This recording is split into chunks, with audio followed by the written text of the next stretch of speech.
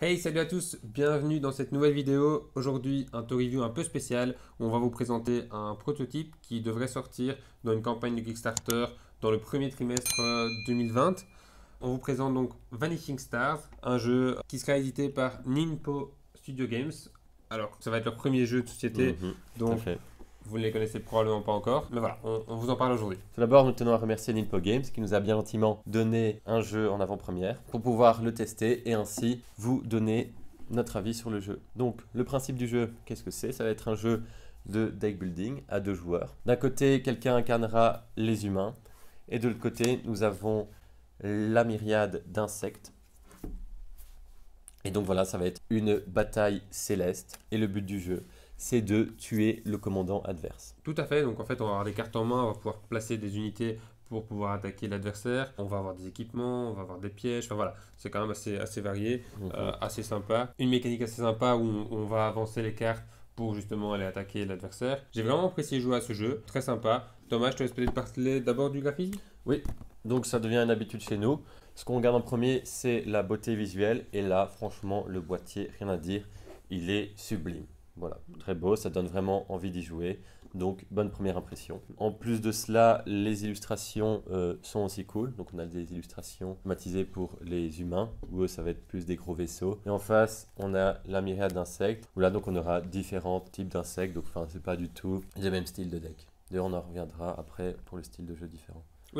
Micro bémol pour moi, euh, pour les, en parlant du design, c'est le dos des cartes qui sont les mêmes, si je ne m'abuse, entre les humains et les, les insectes. Euh, voilà, c'est juste peut-être un petit peu compliqué si on, si on a trop de cartes qui sont posées face cachée. Parce que oui, on peut poser des cartes face cachée euh, sur le plateau de jeu. Euh, voilà, peut-être juste avoir un tout petit signe de différenciation entre les, les différentes races, ça pourrait être sympa. Non, pour ce qui est du gameplay pur. Donc alors, la mécanique de jeu est très intelligente.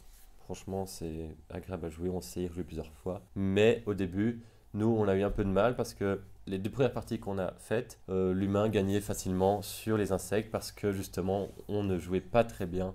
Enfin, on savait pas comment optimiser le jeu des insectes. Donc voilà, il faut jouer peut-être plusieurs fois pour apprendre justement les différentes possibilités, les différentes combinaisons parce qu'il y a beaucoup de combinaisons intéressantes. Depuis, on a rejoué et en fait, ben non, pas du tout. Euh, les insectes sont aussi puissants, même très puissants, euh, parce que parfois il y a des combinaisons mortelles à faire.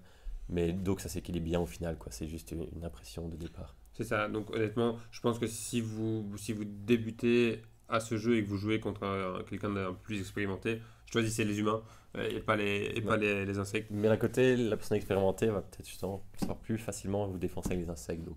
Peut-être Mais au moins, aussi, du coup, c'est bien voilà. équilibré. Ouais. Mais on peut peut-être vous donner juste un tout petit exemple sur lequel on trouvait que c'était déséquilibré. Donc par exemple, on va vous montrer ici CS Bravery, qui est une des cartes, les... qui est la carte la plus forte pour les humains. A priori, on avait du mal à, à- à la, la défoncer, hein, on va être clair. Ouais, Et- ouais. et- bah, Tom... moi je l'avais, Thomas l'avait.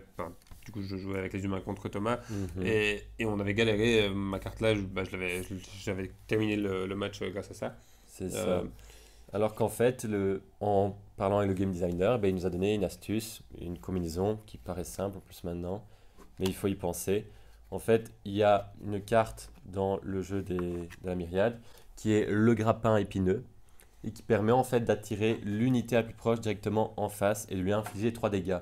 Alors quand on pense comme ça, on se dit, ben oui, on va attirer, on va infliger 3 dégâts, mais c'est pas suffisant. Mais il faut pas oublier que ça la ravance juste en face et l'utilité, c'est que du coup, en la posant, j'ai attiré en face de vous.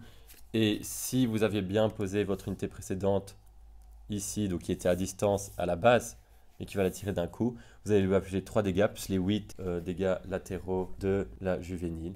Et donc vous détruisez son unité. Donc voilà, un cas d'école euh, auquel on n'y avait pas pensé et auquel un débutant n'y pensera probablement pas tout de suite. Mais voilà, après avoir joué quelques fois, à mon avis, ça doit être. euh, Oui, voilà. Et, et c'est ça qui a vraiment, en fait, quand on veut jouer en mode expert et tout, il y a vraiment beaucoup, beaucoup de combinaisons. Et donc c'est vraiment un jeu quand même stratégique euh, assez complexe quoi, et bien élaboré. Mhm. Oui, c'est ça. Donc voilà, tout ça pour dire que il faut être quand même assez expérimenté pour pouvoir y jouer. Je dirais pas nécessairement, mais si vous n'êtes pas, si vous êtes débutant, vous n'allez pas savoir euh, explorer toutes les possibilités. Et donc c'est vrai que vous allez peut-être euh, plus avoir cette notion de déséquilibre. Et donc c'est peut-être le tout petit bémol, c'est que voilà, il y a quand même une certaine complexité, comme on vous l'a dit. Après, je sais pas si c'est un bémol. Potentiellement aussi que, enfin voilà, c'est très bien aussi pour des, des joueurs d'avoir un peu de, de complexité et justement de pouvoir faire autant de combos qu'on veut, etc. Ouais. Donc voilà, c'est juste un point à prendre en compte Mhm. euh, pour, pour ce jeu. Nous, nous soutient à fond ce projet, d'autant plus que Nippon Games, c'est leur tout premier jeu, donc on aime bien mettre en avant euh, de nouveaux créateurs, donc ici des auto-éditeurs, voilà, parce qu'il faut oser se lancer dans cette aventure, et donc on leur souhaite d'ailleurs Bonne chance, bonne chance, évidemment, beaucoup de succès. beaucoup de succès En tout cas, jeu. nous, on adore ce jeu. Mhm. Dernier petit point que je voulais ajouter, c'est qu'en plus, avec un, un jeu de, de la sorte, il y a quand même pas mal de possibilités d'extension. Je pense notamment à, à, par exemple, la possibilité de faire évoluer des decks, ou encore la possibilité de faire des decks différents, euh, donc d'autres decks, d'autres races. C'est ce que le, le créateur nous, nous a confirmé aussi, Mhm. qu'il y avait peut-être la possibilité de, de créer d'autres decks euh, à l'avenir. Et donc voilà, ça peut être sympa, c'est que vous achetez le jeu et après vous pouvez encore, encore avoir des extensions pour le faire évoluer, pour, pour y jouer encore C'est plus, ça, ouais, donc et avoir beaucoup de plus de- possibilités. plus Ouais. de possibilités. Ouais. Donc ça c'est cool, c'est un, Mhm. un bon point positif. Tout à fait. Donc voilà qui conclut ce tour review donc spécial sur un prototype qui sera lancé en Kickstarter normalement début 2020. On suivra ça de près. Oui, on vous en parlera dans Jus Informe qui arriveront très bientôt sur les, Les les- actualités Kickstarter. C'est ça, tout à fait. Donc on a hâte de vous partager tout ça dans la suite. Comme d'habitude, le gros pouce bleu sur la vidéo, ça fait toujours plaisir. Surtout si vous l'avez aimé. Voilà, c'est encore mieux. Abonnez-vous pour recevoir nos, nos prochaines vidéos, pour suivre ce jeu euh, dans les Jus Informe euh, dans le futur. Et ben, nous on vous dit à la prochaine. Bonne nouvelle vidéo. vidéo. Salut à Salut à tous.